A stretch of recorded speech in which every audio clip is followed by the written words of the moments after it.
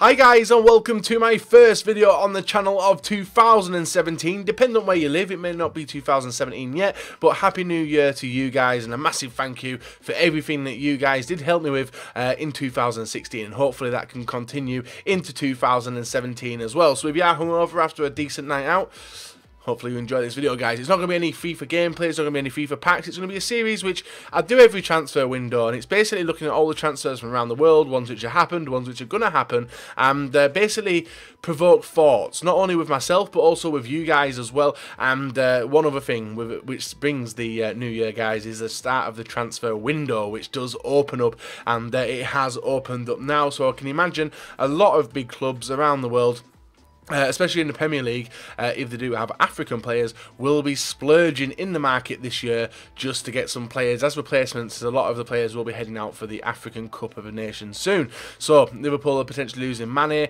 Um, I don't know of any other ones. I haven't really followed uh, what other players are going to be leaving the Premier League, but I know it's only for a short time anyway. But I know Mane is going to be disappearing out of the Liverpool squad.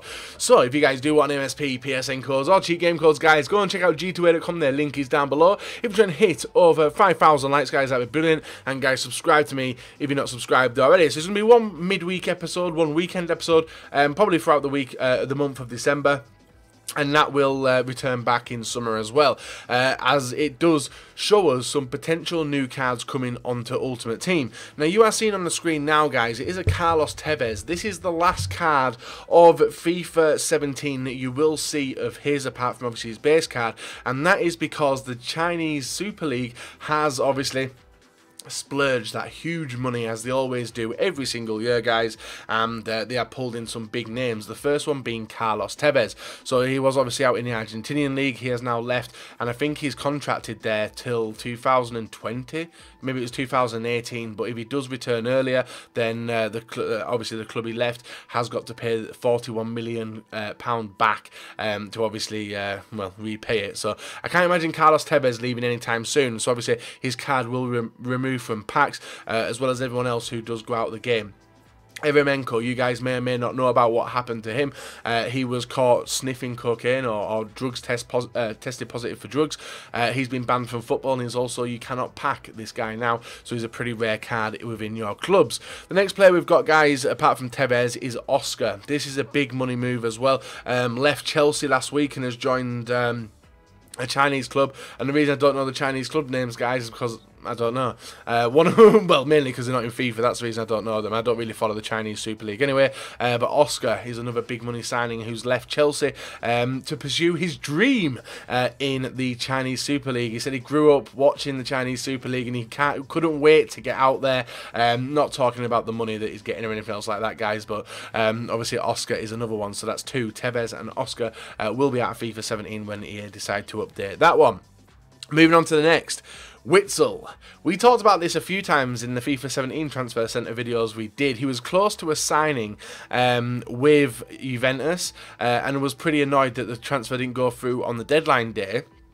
This one potentially may not go through. Uh, obviously, Juventus said they were going to go back in for him. Um, his co contract's up at the end of this year, I think. Uh, but it is looking, guys, like Witsel is going to prefer a big money move to the Chinese league over Juventus, which is pretty ridiculous. Well, I don't know.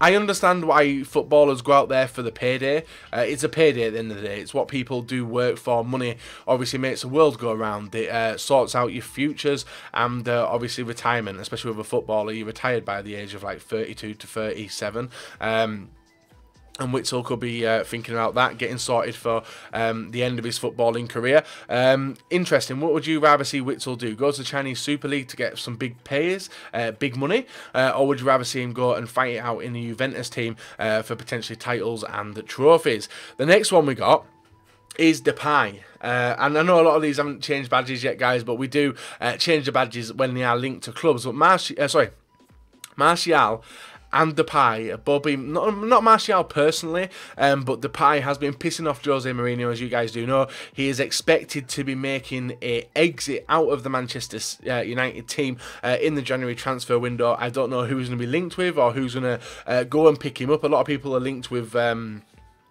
uh, Everton.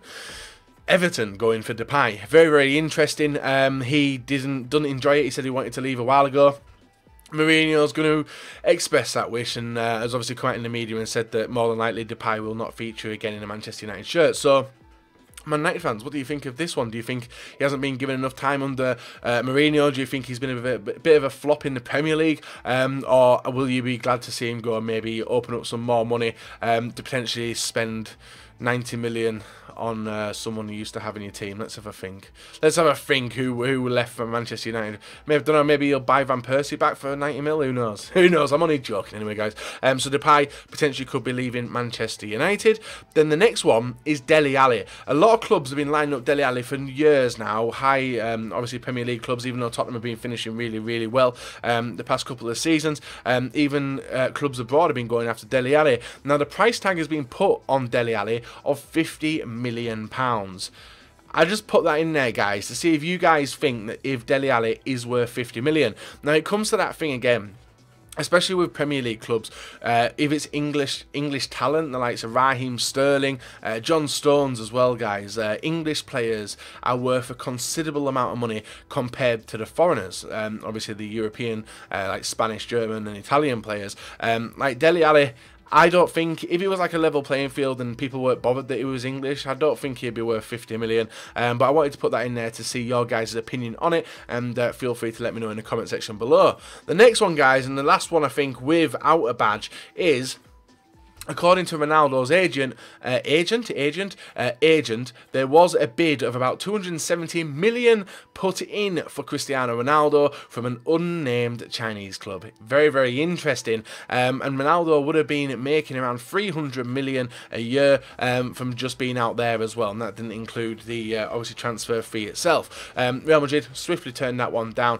And I know it's simple. Cristiano Ronaldo makes Real Madrid more than 300 million a year anyway, off shirt sales, appearances, um, mer anything merchandise and just the name Ronaldo at Real Madrid makes them so much money. So it would have to be a stupid offer to try and pull him out of it. Um, but who knows what Cristiano is going to do uh, in the future. Might be a nice way to retire. He is well loved all over the world, especially in China. Um, so it'd be interesting to see if he does head on out there. And who knows, if Ronaldo's worth 270, how much do you think Messi would be worth for the Chinese clubs, clubs come knocking?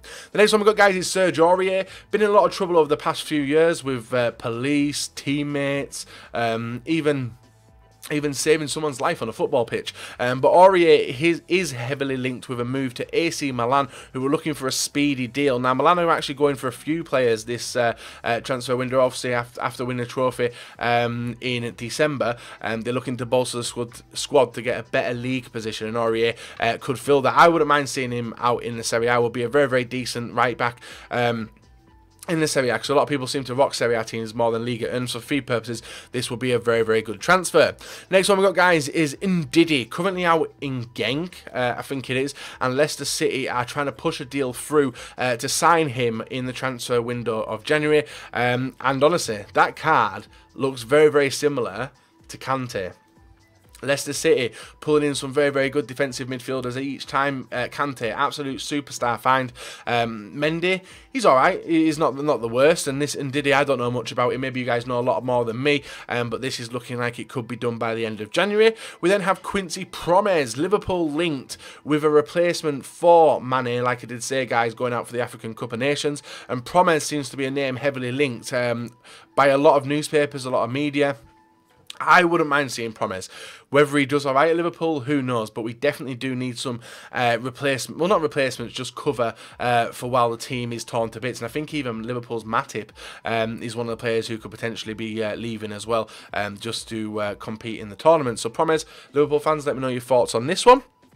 And Liverpool fans again, after a goalkeeper. Yes, we have Simon Mignolet after a 1-0 uh, victory over Manchester City. He wasn't really tested today, though, uh, or yesterday. Um, and obviously our other keeper, Karius, uh, has floppy hands our keepers have flappy hands. Now, obviously, with Joe Hart being on loan at Torino, um, would Manchester City even allow Liverpool to try and go for him to make it a permanent signing? Bravo himself at Manchester City is absolutely shocking. He has been having an absolute howler um, in goal for Manchester City. Um, should Joe Hart just go back to City and uh, rekindle his career there? But Joe Hart isn't the only keeper Liverpool are linked with, but he was the main one. So I thought I'd throw him in there and get your guys' opinion.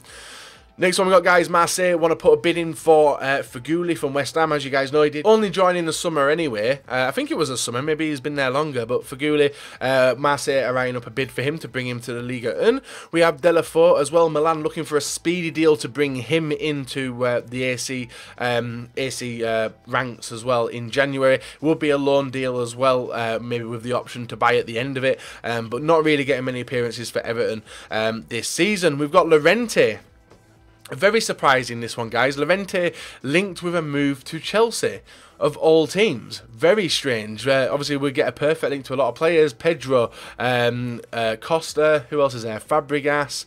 I'm probably missing a lot of uh, Spanish players at, at, at, Chelsea, but yeah, Llorente would uh, would bring something else. Would bring some extra extra height and uh, maybe a route one ball. But Chelsea seem to be absolutely steamrolling the Premier League at the moment, and uh, it's looking like Liverpool are going to be in for a tough ask if they do want to win the league. We then have Michael Keane, um, currently at I know he was at Burnley. I don't know where he's at now. Or maybe he still is at Burnley. Um, but Everton want to try and pull him in uh, in the January transfer um, to bolster their defence, which is needed pretty quickly. And then we've got Steven N'Zonzi as well. You guys may remember him, ex-Premier League player, currently tearing it up in the La Liga. Um, Tottenham are going to look and bring him into the Premier League. Would fit into their team straight away. Absolutely amazing player in FIFA. He's in form version sick, guys. You know, I uh, do compare him to Patrick Vieira. And if you guys haven't tried him out, really recommend doing so. Very, very very nice player. We have Acerbi as well. Uh, Leicester City trying to uh, bolster the defence, and uh, Acerbi looks to be key to that one, currently out in the Serie A. And then we have Arturo Vidal looking to be linked with his ex-manager, um, um, obviously uh, Conte, going to be uh, hopefully bringing him, because Conte was a manager at Juventus when Vidal was there, um, but I think he wants to reunite him in the Chelsea ranks. Would be ridiculous, and Chelsea, Chelsea would win the league for the next few seasons, I think, if they pulled in the, the uh, transfer targets, which they do want. Vidal in the Premier League will be sick. His price will be absolutely phenomenal in the uh, game of FIFA. We have Lucas Leiva as well. This one was going to be uh, pushed through in the first couple of weeks of the transfer window. Lucas Leiva making a loan deal to Inter Milan, but Inter have actually put it on stall. Uh, currently, uh, while they go and open up some more options. I honestly, as a Liverpool fan, don't mind Lucas Leiva. He comes in, he plays a business wherever he wants to, uh, wherever uh, the manager wants him to do it. Whether can he can do it to that standard, who knows? Um, but at least he's a tryer. Then have Marco van Ginkel, who has signed a fresh new deal with Chelsea today, but is going out on loan to PSV for the remainder of the season. Um, I think it was to 2018 or 2019 that the deal's been extended. Um, I honestly think Van Ginkel won't isn't getting game time at Chelsea. He may as well go and push his career career elsewhere, guys, and uh, see how we can get on. But um, for the payday, He's doing alright in it. We got Tom Cleverley as well, the fringe player at Everton, not really getting many um, starts for Everton at the moment, and Rafa Benitez wants to pull him into the ranks for the Championship side. And then we got uh, Courtois, one of the best keepers in the Premier League. Not really tested, is he? He's not really been tested this season because of the way Chelsea do play, and obviously Chelsea. I think Chelsea conceded two goals today against. Um, Stoke City. Um, but Real Madrid still looking for that goalkeeper, that super superstar goalkeeper. They went after De Gea last couple of years. That one failed.